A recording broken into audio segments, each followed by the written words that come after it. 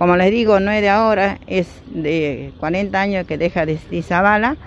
Y bueno, estamos siempre presentes y vamos a seguir defendiendo esta finca que quedó para el hospital. Y bueno, el hospital pertenece a los periqueños y no tenemos respuesta. El, hospital sigue lo mismo, con cinco números, seis números por cada especialista, más pediatra, que a veces las madres se tienen que retirar muy mal. Y, bueno, ese es el tema que siempre cuando entra, dice el hospital, la gente del campo se los apoya, se los vela. ¿Quién no va a ser que van a ir a la cabeza? Pero siempre es lo mismo. Pero hasta ahora, como les digo, nosotros hemos defendido que este, la finca que sembramos, nuestro alimento para todo y nuestra es vida. Lo que nosotros hacemos es vida. No estamos haciendo muerte y vamos a seguir luchando por lo mismo.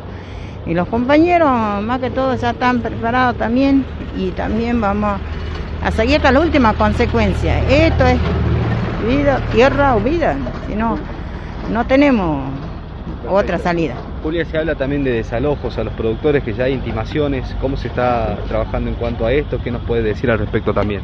También hubo las denuncias, eh, yo también estoy incluida en eso.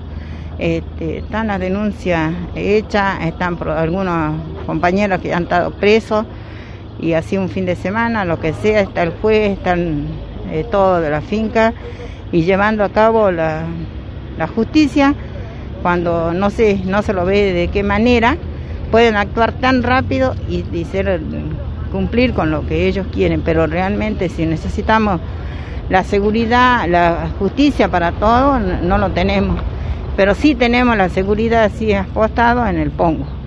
Perfecto. La falta de agua es otra problemática que están teniendo hoy por hoy los productores, ¿es así? Así siempre ha sido el problema del agua y ahora más que más se están sumando más productores nuevos y el agua se está dividiendo en varias partes y bueno, también es un totalmente en desacuerdo del agua y entre ellos a veces son los desacuerdos entre los productores. ¿Tienen algunas respuestas en cuanto a esta situación de parte de autoridades? ¿Tienen alguna solución pronta? Y no, la única solución que da si hay algún problema es el, maltrato y el, la exigen de que se tienen que ir si no no quieren pagar, si no quieren, como ellos lo digan, y se tienen que marchar, se tienen que ir, y hay otros para ponerlo es el, dicho, pero realmente los productores siempre han estado, han vivido de esto y la gente alrededor también, porque el que come, el que va, el que compra, el que revende, vive de esto. Por eso mismo. ¿Los productores sienten que hay un abuso de poder de parte de las autoridades? total, total, total, eso sí. Y bueno, ya hemos estado en, no en esta lucha, hace añares, nuestro compañero te va a decir, que no, un pie atrás, vamos a seguir para adelante, no tenemos miedo.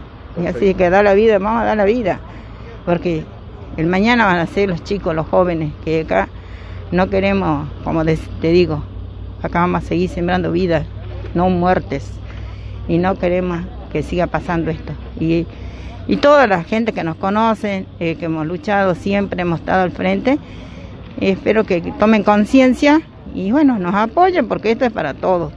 No decir que vamos a estar la dificultad solo en Perico, vamos a tener dificultad alrededor. Porque realmente queremos seguir con la producción como estábamos haciendo y vamos a seguir.